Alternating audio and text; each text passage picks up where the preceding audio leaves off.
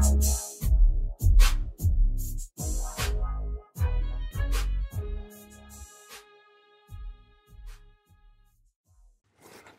everyone, my name is Justin and uh, I post a lot of uh, different things on this channel. Um, you can check out the playlist to see um, everything's organized on what I post. Uh, one of the things like this is uh, you know some kidney disease and dialysis tips and uh, um, stories from my own experiences. Uh, today we're going to cover the top three um, things that you need to watch for when you're on dialysis or you have kidney disease.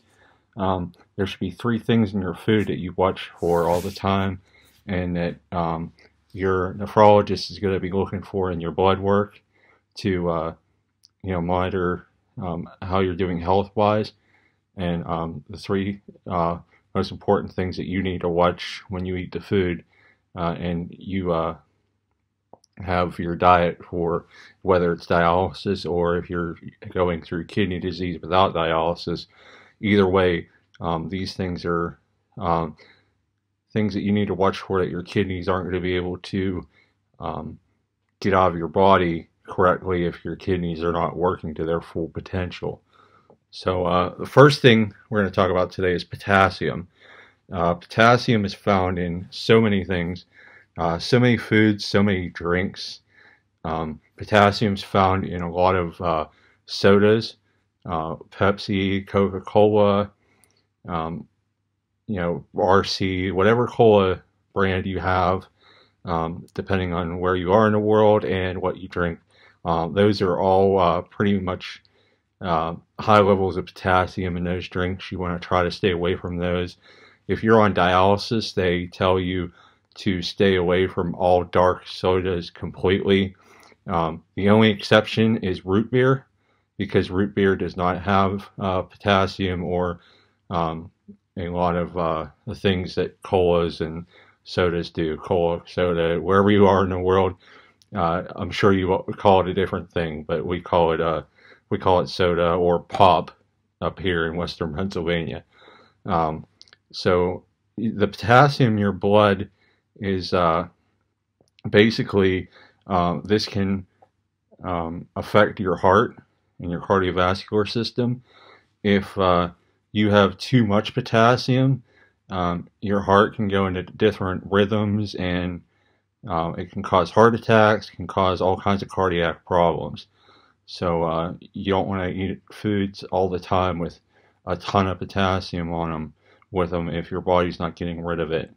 Um, if it, that that's actually called hyperkalemia is when you have too much potassium in your blood and in your body and also potassium if your potassium's too low which can also happen with kidney patients is you'll get cramps um, you can have heart problems as well with that but a lot of uh, patients have symptoms of cramping when their potassium's low and uh, this this obviously isn't good either. So you have to keep that fine balance, and that's why most of the time you get blood work done a lot when you're a kidney disease patient or a dialysis patient. So that way your your doctor or nephrologist can uh, determine if you need to have more potassium or less potassium in, in your diet. And uh, it, it, can be tough, but if you're monitoring what you eat, you can uh, usually keep this uh, pretty well regulated. Just don't want to have too much, don't want to have too little. Got to stay in the middle with that potassium. Um, the next uh, mineral you need to watch in your blood is phosphorus. And phosphorus is basically in everything. Um, this helps your bones and teeth in your body, and it helps convert food into energy. Um, so normally, if you have good working kidneys, your body releases any extra phosphorus into your urine and you just uh, go to the bathroom and it all comes out. If you have kidney disease or you're on dialysis, this builds up, and even on dialysis, you can't uh, pull out as much phosphorus as what you need to sometimes. So if you're eating a lot of foods with phosphorus, which is like dairy, um, uh, basically everything, breads, dairy, uh, chocolate, things like that. They all have uh, high levels of phosphorus in them, and uh, this can be uh, really an issue if it's high because uh, your bones can get brittle and you can have other health problems with it. So you want to try to eat foods with less phosphorus in it, or your nephrologist or doctor may um, prescribe to you what's called a phosphorus binder, and that's a pill or two pills that you take with every single meal and every snack. And that way, when the food's in your stomach, it kind of pulls out the phosphorus from that food, and it ends up getting eliminated through uh, through your waste, your feces, and or poop. You know, if you want to not be technical, but uh, that's how that is eliminated then. And because, like I said, dialysis and um, can't get it out completely, and if uh, you, you have kidney problems, your urine, it's not going to go out of your urine like it should. So um, that's phosphorus and that's potassium. And then the third and one of the most important, I would say, is sodium.